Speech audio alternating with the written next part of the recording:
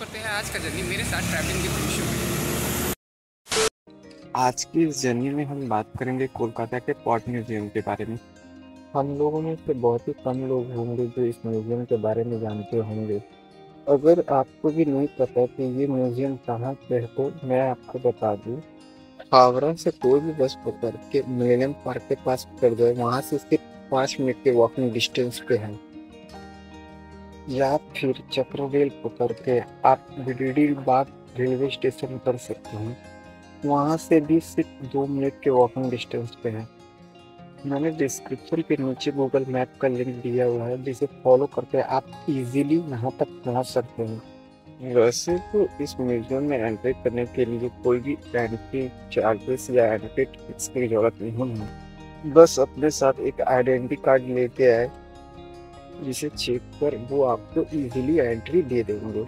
ये museum week में five day Monday to Friday open रहता है और सैटरडे और संडे को क्लोज रहता है और अदर्स नेशनल हॉलीडेज में भी ये म्यूज़ियम को बंद रखा जाता है।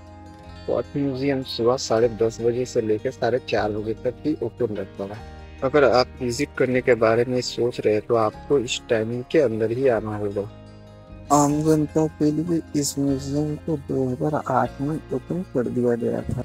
आपको याद रखना पड़ेगा कि कोलकाता हुगली नदी के किनारे बसा एक बंदरगाह शहर है और इस पॉट म्यूज़ियम में आकर लगता है कि पूरे पॉट को एक छोटे से कमरे में कैद कर दिया गया है।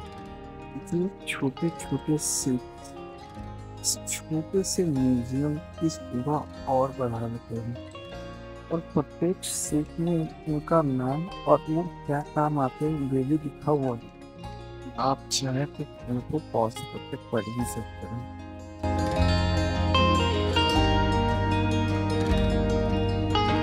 और इस पोर्ट में रखा हुआ है एटीन और नाइनटीन के दशक में सिटी में यूज़ होने वाले कुछ प्राचीन वस्तुएँ।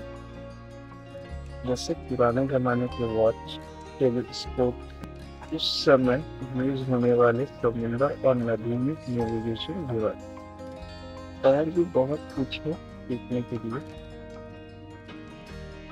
अगले वाले वीडियो रखा हुआ है जिससे आप और भी इस पॉट के बारे में जान सकते इस छोटे से पॉट म्यूज़ियम में घूमकर बहुत ही अच्छा लगा।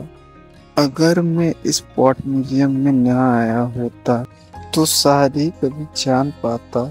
हमारे देश में इतने टाइप्स के सीट्स चलती हैं और उनका यूज़ होता है।